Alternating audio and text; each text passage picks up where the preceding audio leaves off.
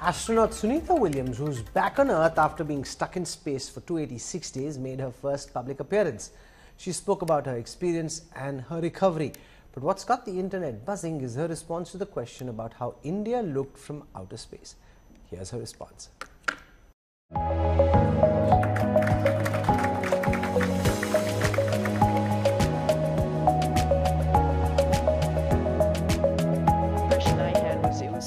Girl Sunita Williams speaking out for the first time after the 286 days space sojourn.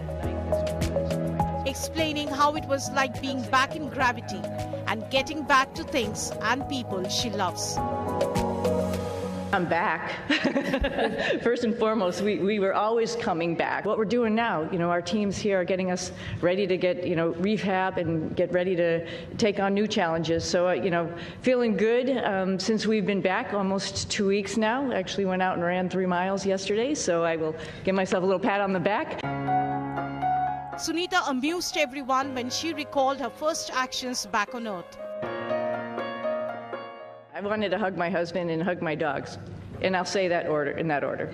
but maybe maybe not. No, I'm just joking. Of course, food, I you know, something that's just like for home for me, like something that is very, you know, reminds you of home. And I had my father was a vegetarian, so I had a, a good grilled cheese sandwich when I got home. So that reminded me of him. The Indian origin space explorer recalled watching India and the Himalayas with all their glory from space.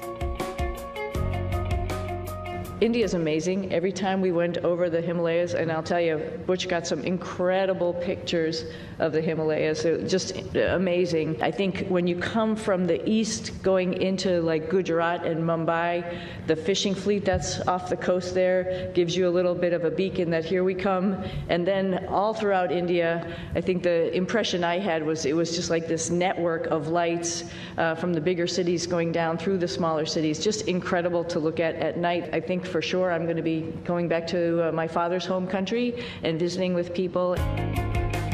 Sunita, who was holed up in space with fellow astronaut Butch Wilmore, was optimistic about snag-ridden Boeing Starliner. The, the spacecraft is really capable. It is a great spacecraft and it has a lot of capability that other spacecraft don't have. And to see that thing successful and to be part of that program is an honor. Certainly, there's responsibility throughout uh, all the programs, uh, and certainly you can, you can start with me. Um, responsibility with Boeing? Yes. Responsibility with NASA? Yes.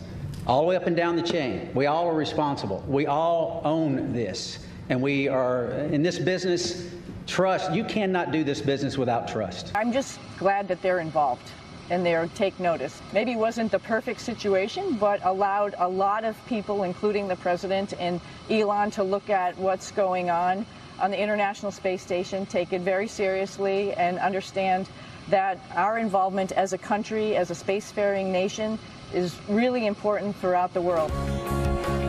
The astronauts had a personal thank you note for President Trump and SpaceX founder Elon Musk for the return flight to Earth.